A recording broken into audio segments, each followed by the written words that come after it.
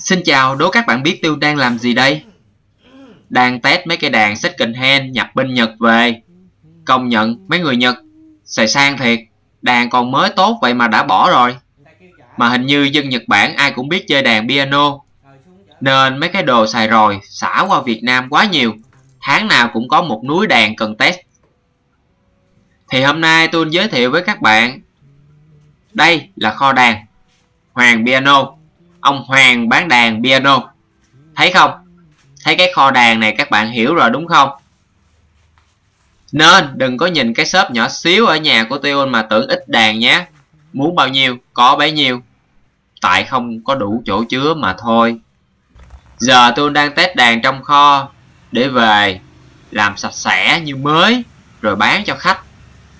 Kinh nghiệm mua đàn và dùng đàn piano của Tion Dành cho các bạn là Muốn mua đàn giá tốt, xịn chất lượng tốt Thì liên hệ tôi hoặc liên hệ trên website hoangpiano.com để được hỗ trợ Thấy tôi làm nhiều nghề quá đúng không? Vậy mà vẫn chưa cứu được động vật ở Việt Nam Mà còn ôm một đống nợ đời đây nè Lúc chạy đầu này làm website phần mềm Lúc chạy đầu kia bán đàn Lúc chạy đầu nọ bán đuôi cá Lúc thì dạy bơi dạy lặn các bạn giờ còn chưa hiểu tại sao tôi phải vất vả làm những công việc này à? Tất cả là vì tương lai của các bạn, Vì thiên nhiên động vật ở Việt Nam đó. Thậm chí bây giờ, Đuối lắm rồi, Nhưng vẫn ráng làm. Sắp tới chắc tôi sẽ ra clip dạy đàn. Còn bây giờ chuẩn bị đem đàn về shop bán, Cứ như vậy mà tháng ngày trôi qua nhanh.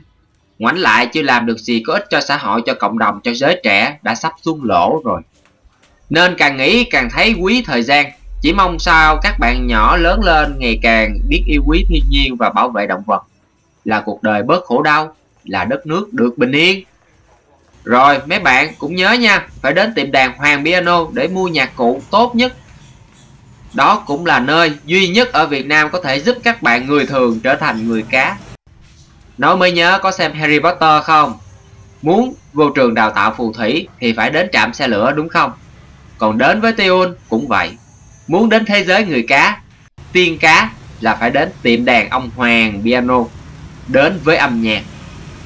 Bởi vì người cá và âm nhạc có sự liên quan mật thiết với nhau lắm các bạn ơi.